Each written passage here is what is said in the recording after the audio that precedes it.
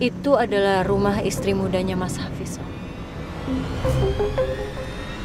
Gara-gara perempuan itu, Mahda jadi terusir dari rumahnya sendiri. Iya memang dibeliin rumah baru sih, jauh lebih besar, tapi cicilannya belum lunas. Maaf ya Om, aku cuma bisa antar sampai sini aja. Terima kasih atas informasinya, anak Kinar. Biar Om sendirian saja yang menemui perempuan itu. Ya? Om, Om jangan sampai ketipu ya sama muka polos dan lugunya. Karena muka polosnya itu, Mas Hafiz jadi tega menikah lagi dan menghancurkan hatinya Mahda. Sampai ketemu lagi ya Om.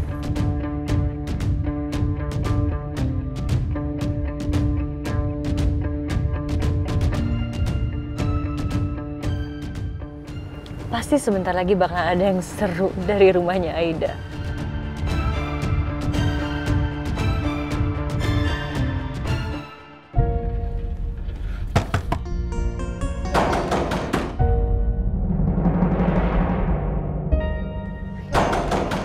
Sebentar.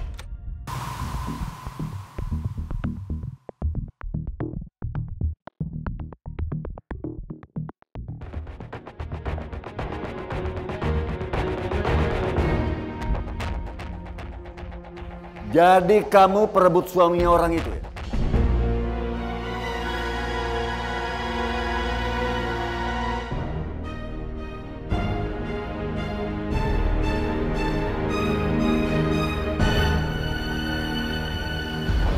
Pak Hafiz mohon Pak. Ini bukan salah Aida Pak. Ini semua salah Hafiz. Apa kamu bilang?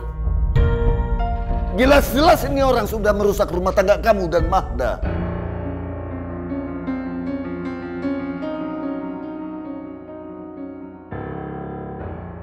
Sih yang mempengaruhi kamu? Sampai kamu tidak melihat kesalahan dia?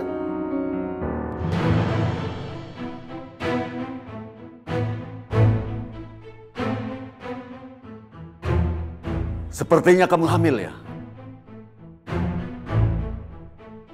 Bagaimana kamu bisa hamil secepat itu padahal kalian baru saja menikah?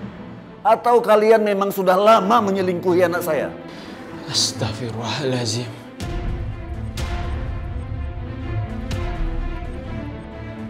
Kami tidak serendah itu, Pak.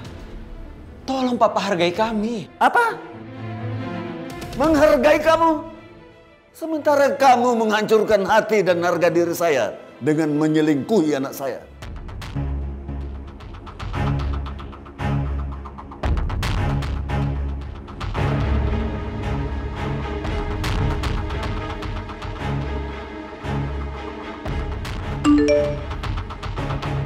Jadi kamu perempuan perebut suami orang itu?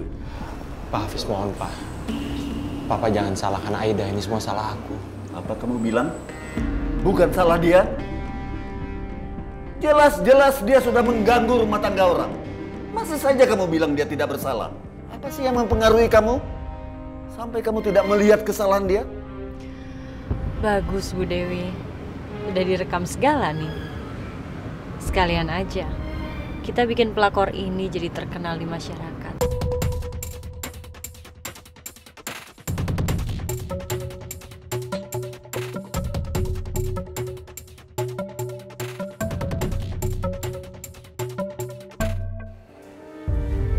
Udah.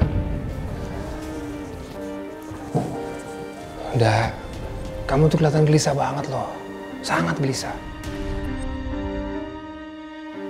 Karena sidang pertama. Iya.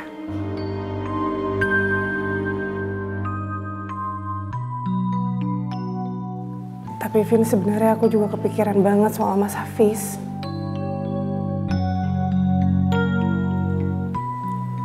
Aku tuh nggak enak banget kalau Papa nuduh yang macem-macem ke Mas Hafiz. Dan aku ngerti, karena pasti Mas Hafiz juga perasaannya nggak enak. Ya, ya aku tahu nih nggak akan mudah buat kamu, tapi lebih baik kamu sekarang fokus aja ke persidangannya. Udah itu aja dulu.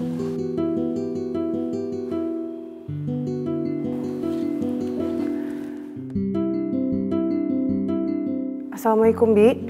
Waalaikumsalam, Bu. Eh, ada papa nggak, Bi? Saya mau bicara. Bapak nggak di rumah, Bu. Tadi setelah Ibu pergi, Bapak juga pergi. Tapi Bibi nggak tahu ke mana Bapak pergi. Astagfirullahaladzim. Yaudah, makasih ya, Bi. Assalamualaikum. Waalaikumsalam. Aduh, papa nggak ada. Jangan-jangan papa nyerang Mas Hafiz lagi. Udah, udahlah, udah, udah. Nggak usah terlalu dipikirin segitunya ya. Gimana nggak dipikirin, Vin? Aku nelpon ke papa nggak diangkat. Nelpon ke Mas Hafiz juga enggak.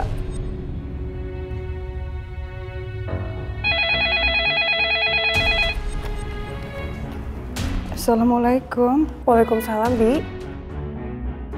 Eh, boleh saya bicara sama Mas Hafiz? Kamu perempuan juga kan? Ngerti dong. Gimana perasaan kamu kalau kamu yang dimadu? Kamu pasti sakit hati juga kan?